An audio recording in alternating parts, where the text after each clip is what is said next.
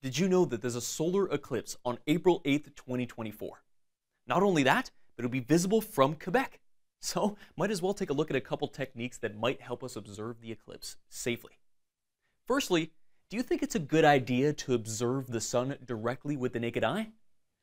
No, hey, no, no, no, it's far too dangerous. You see, the sun is far too bright.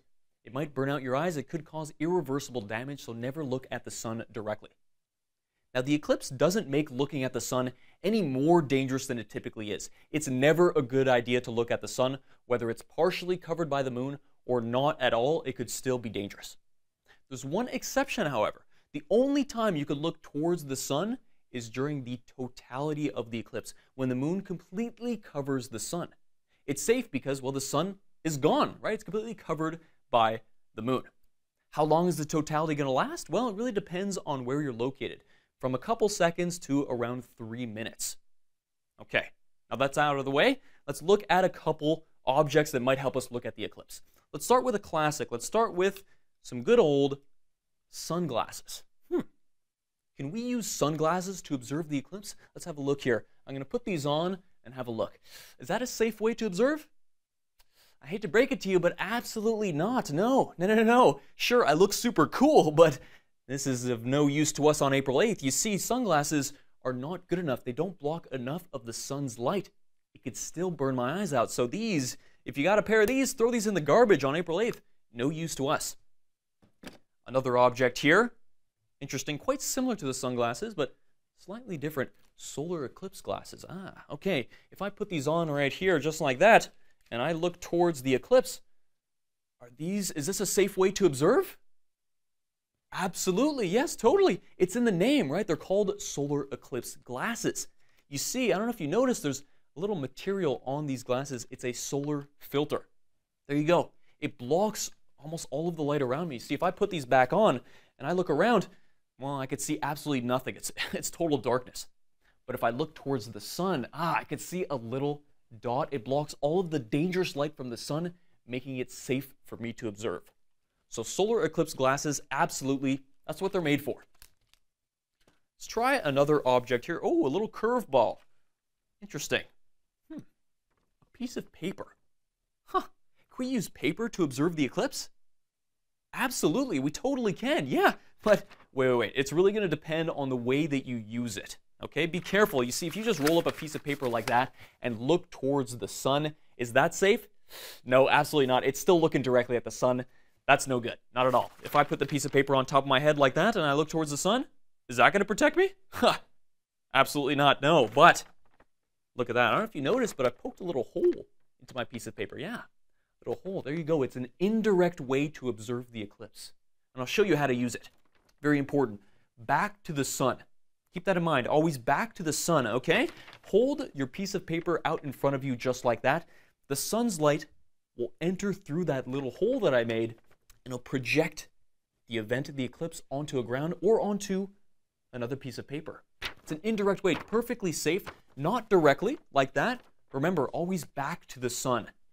Perfectly useful pieces of paper, pieces of cardboard, poke little holes in them. Try it out on April 8th. Another object here. Okay, interesting. Hmm. A strainer. A strainer for pasta, you know, spaghetti, macaroni, all that good stuff. Is this useful for us on April 8th?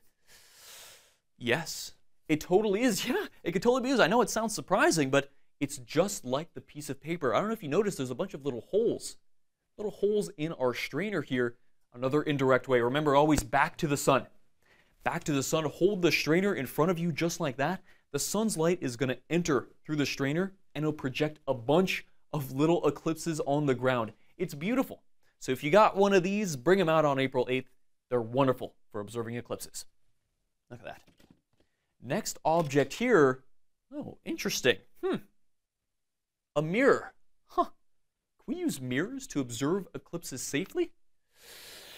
No, no, no, no, absolutely not. It's not safe at all. You see, there's no solar filters or anything for a mirror. Even if I put my back to the sun, held it out in front of me, you see the sun's light is going to reflect directly off the mirror, directly into my eyes and that could still be dangerous. It's far too direct. This is not an indirect method. It's dangerous. If you got some mirrors, once again, throw that in the garbage. Huh. No use to us. Okay, one last object here. Interesting. Cereal boxes. Huh. Can we use cereal boxes to observe eclipses safely? What?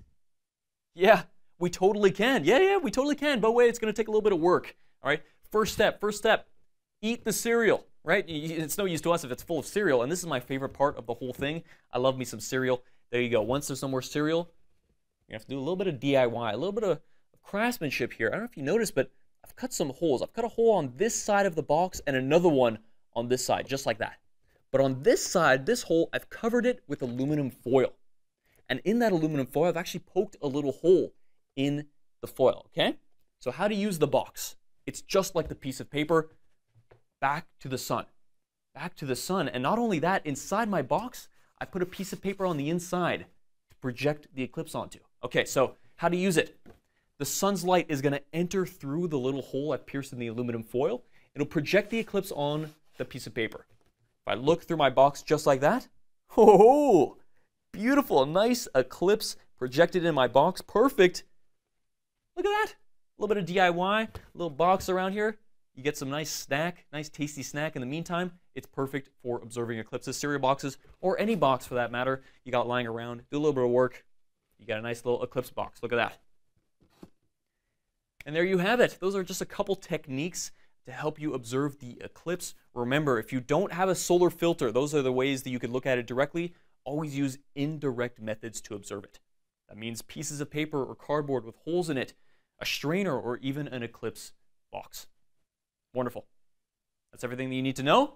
I wish you a wonderful eclipse on April 8th. I'll see you. Thanks.